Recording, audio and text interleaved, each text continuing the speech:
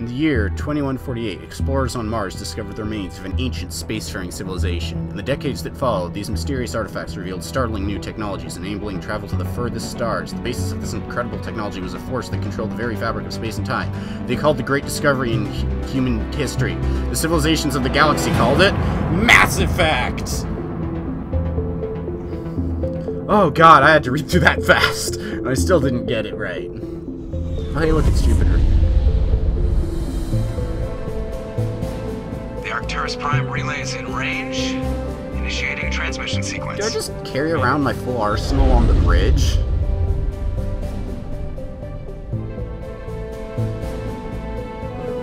We are connected.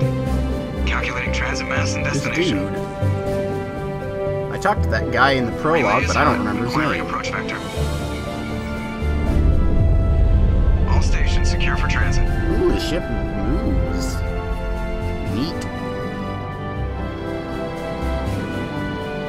Dude, get out of my way. Who's this? I'm, I'm just kidding. I know who. Oh, it's me! Board is green. Approach run has begun. That's who it is. The biggest badass this side of the galaxy.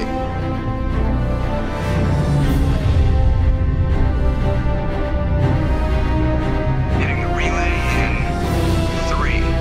I assume by hitting he means using, not actually crashing.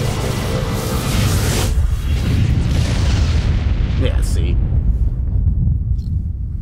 Thrusters, check. Navigation, check. Internal emission sink engaged. All systems online. Drift, just under 1500k. 1500 is good. Your captain will be pleased. I hate that guy. Nihlus gave you a compliment. So you hate Oh my god! It's Carth! Remember to zip up your jumpsuit on the way out of the bathroom? That's good. I just jumped us halfway across the galaxy and hit a target the size Hey, of a Carth! pin. So that's incredible. Besides, Spectres are trouble. I don't like having them on board. Call me paranoid. You're paranoid. Ah. The council helped fund this project. They have a right to send someone to keep an eye on their investment. Yeah, that is the official story. But only an idiot believes the official story. Whee! Uh, oh, uh, I agree. They don't send specters on shakedown runs. Yeah. So there's more going said. on here What than I the said. captain's letting on. Joker, status report. Confused. Just cleared the mass relay, Captain. Oh. Stealth systems engaged. Everything looks solid. Good. Find a comm buoy and link us into the network. I want mission reports relayed back to Alliance Brass before we reach Eden Prime. Buoy is a fun word. Aye, aye, Captain. Better brace yourself, sir. I Buoy. think Nihlus is headed your way. He's Buoy. already here, Lieutenant. Buoy. Tell Commander hmm. Shepard to meet me in the comm room for a debriefing. You get that, Commander? He sounds angry. Something must have gone wrong with the mission. Captain always sounds like that when he's talking to me. Can't possibly imagine why. I can't either. Joker seems like a stand-up guy. Buoy. Buoy. Come buoy.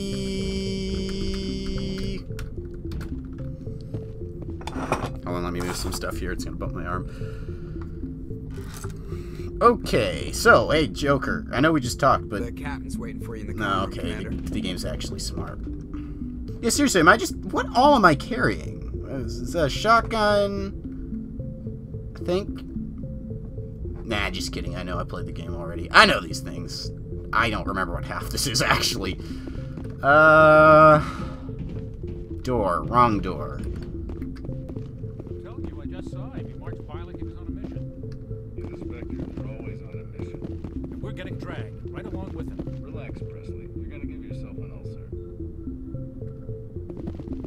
Hi. Do you like all my guns? Oh, sup? Congratulations, Commander. Looks like we had a smooth run. You heading down to see the captain? I'm on my way to give him a status update right now. With all due respect, ma'am, maybe he'll finally tell you what we're really doing out here. Uh, yeah, what do you mean? You think the Alliance brass is holding out on us? If all we're supposed to do is test out the stealth system, why is Captain Anderson in charge? And then there's Nihlus. Spectres are elite operatives, top covert agents. Why send a Spectre, a Turian Spectre, on a shakedown run? It doesn't add up. So, I want you to investigate? Oh, no, that's me investigating. Alright. Sorry, I just started reading that and I've already read it. I mean, heard it. Ah! I'm losing my mind. Uh, stealth systems. What do you know about the stealth systems? I just know it masks our location from scans and sensors. Cutting edge technology. Fancy the stuff. Normandy's the only ship with this prototype drive. But why are we fully staffed? A skeleton crew would be cheaper, less chance of security leaks, too. Plus, there's Nihlus. It's pretty obvious this shakedown run is just a cover. A cover? For what? Damned if I know, Commander. We're out here on false pretenses. I'm not a fan of being left in the dark. Do you have a problem with the captain? No man. But I can't figure out what he's doing here. Captain Anderson is one of the most decorated Special Forces officers in the service. If he melted down all his medals, he could make a life-size statue of himself. You don't send a soldier like that on a do-nothing mission. He's treating this shakedown run too seriously. Something big is going on. Uh, Turian Spectre. You don't trust Nihlus. I don't like Turians in general. It runs in my family. My grandfather fought in the First Contact War, lost a lot of friends when the Turians hit us. Uh, was that long ago? I'm gonna say that was long ago. That was 30 years ago. You can't blame Nihlus for that. No, I guess not. But it still makes me nervous to have a Spectre on board, especially a Turian. It's kind of racist. We're an Alliance vessel, Or human species. military, but Nihlus doesn't answer to the captain like the rest of us. Spectres operate outside the normal chain of command. And they don't come along just to observe shakedown runs. Nihlus looks like he's expecting some heavy action. I don't like it. I'll look into it. I'll see if I can get some answers when I see him. Good luck, Commander. Uh, okay, hold on a minute. It's a new codex entry, and I remember seeing that on the first playthrough, but I intentionally like avoided it so I wouldn't spoil myself. So uh, I need to I need to look that up.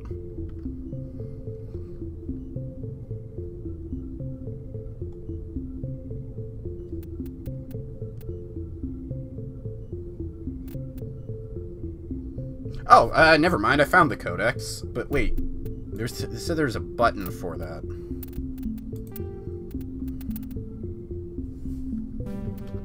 All right, I found the button. It's O. Aliens, council races. Roughly 1,200 years ago, the Turians were invited to join the Citadel Council to fulfill the role of galactic peacekeepers. The Turians have the largest fleet in Citadel space, and they make up the single largest portion of the Council's military forces. As their territory and influence has spread, the Turians have come to rely on the Salarians for military intelligence and the Asari for diplomacy. Despite a somewhat colonial attitude towards the rest of the galaxy, the ruling hierarchy understands they would lose more than they would gain if the other two races were ever removed. Turians come from an autocratic society that values discipline and possesses a strong sense of personal and collective honor.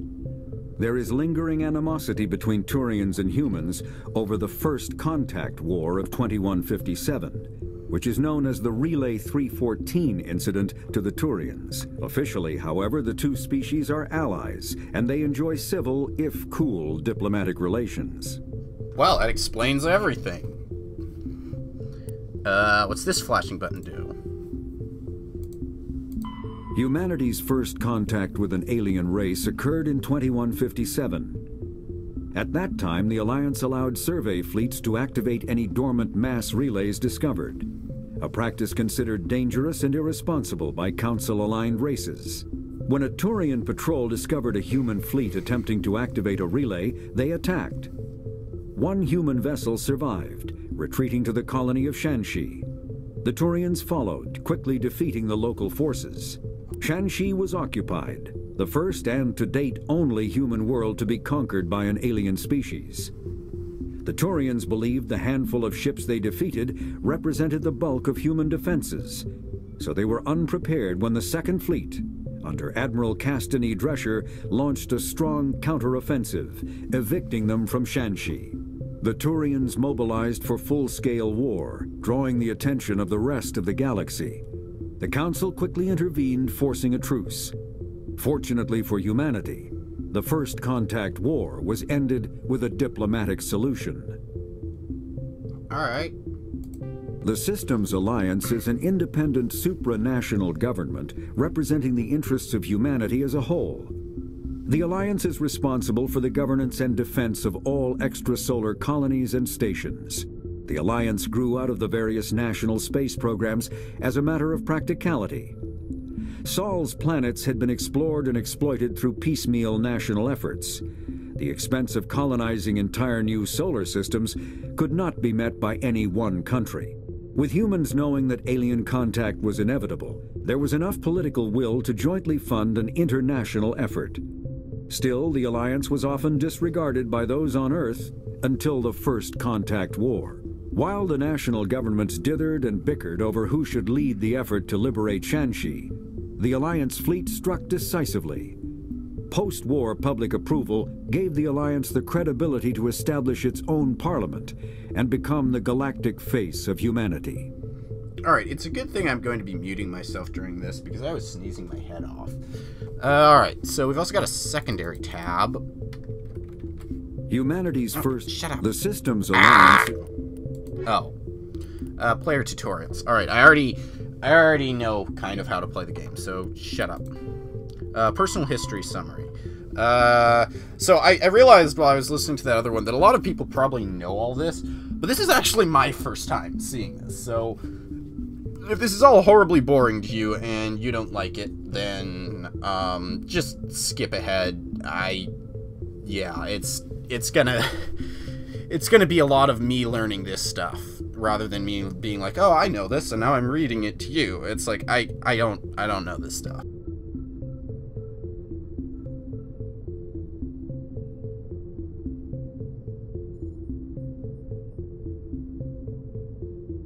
Mm-hmm. Yeah, I don't really know what I'm doing here. Oh, right. Um, people talking. Dudes? Hi, what's up? Grew up on Eden Prime, dog. It's not the kind of place Spectre's visit. There's something Nihlus isn't telling us about this mission. That's crazy. The captain's in charge here. He wouldn't take orders from a Spectre. Not his choice, Doc. Spectres don't answer to anyone. They can do whatever they want. Kill anyone who gets in their way. Oh, you watch too many spy vids, Jenkins. Wait, is that who I think it is? Dr. Chakwas. Right. What do you think, Commander? We won't be staying on Eden Prime too long, will we? I'm itching for some real action. I sincerely hope you're kidding, Corporal. Oh my god, it is! Your real action usually ends with me patching up crew members in the infirmary. It's generic old woman from KOTOR! Oh, I'm seeing all my old friends. Uh, yeah, relax, Jenkins. You need to calm down, Corporal. A good soldier stays cool even under fire. Sorry, Commander, but this waiting's killing me. I've never been on a mission like this before, not one with a Spectre on board. See, when I was thinking relax, Jenkins, I was thinking I was going to be like, hey, relax, we're going to a nice, peaceful world. Uh, my hair's clipping through my ear. Um, that's not going to get annoying looking at. Um, I'd be like, yeah, relax, Jenkins, we're going to a nice, peaceful world. You should chill. But apparently I'm just like, gosh, fuck off. That's not actually what I said. Um...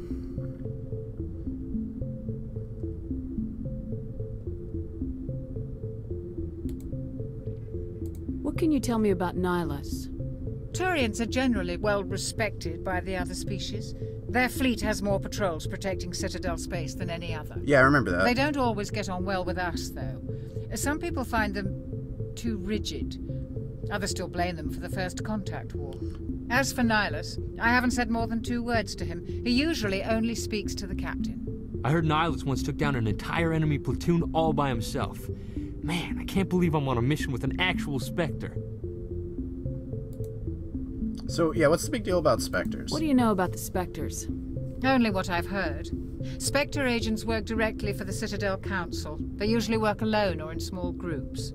Spectres don't have any official power, though. Basically, they're a shadow organization with a mandate to preserve and protect galactic stability. Protect it at any cost. Don't forget that part. Spectres operate above the law.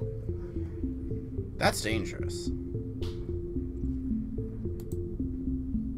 What do you know about Oh, Spectres? shit. Only what I've heard. Ah! Spectre agents work directly for the Citadel Council. They usually work alone or in small groups. Spectres don't have any official power, though. Basically, they're a shadow organization with a mandate to preserve and protect galactic stability. Protect it at any cost. Don't forget that part. Spectres operate above the law.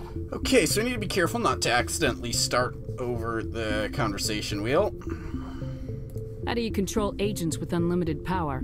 I suppose the Council could revoke the Spectre status of an agent who got out of hand. At that point, Citadel Security Services would take over. Those C-Sec grunts wouldn't stand a chance. The Spectres were 20 ordinary soldiers. The Spectres police themselves. An agent goes rogue, they send another agent to take him down. That's Spectre justice. The Corporal's confusing romantic legends with reality, Commander. I this seems like the idiot option because like yeah clearly there are none all right sorry about that i'm back so uh was was as i was saying um this option seems really stupid because like clearly there are no human specters we're new here and uh i think some of the people in charge don't like us much uh yeah eden prime what about eden prime You're from Eden Prime, aren't you, Jenkins? What's it like? It's very peaceful, Commander. They've been real careful with development so you don't have any city noise or pollution. My parents lived on the outskirts of the colony. At night, I used to climb this big hill and stare across the fields back at the lights from the main settlement. It was gorgeous. But when I got older, I realized it was a little too calm and quiet for me. That's why I joined the Alliance. Even Paradise gets boring after a while. Any idea why Eden Prime was chosen as our destination? Not really sure, Commander. Eden Prime's one of our most stable colonies. Good place to take the Normandy for a shakedown run, I guess. No real danger there. There's gotta be something else going on. We've got a Spectre on board. Yeah. That's why I'm so wound up. I can't wait for the real mission to start. You'll do fine. Just treat this like every other uh, assignment you've had and everything will work out. Easy for you to say. You proved yourself in the Blitz. Everybody knows what you can do. This is my big chance. I need to show the brass what I can do. Be careful, though. You're young, Corporal. You have a long career ahead of you. Don't do something stupid to mess it up. Don't worry, ma'am. I'm not gonna screw this up. The captain's waiting for me. Goodbye, Commander. So um, I need to I need to tab out for a minute, um, just to fix some stuff.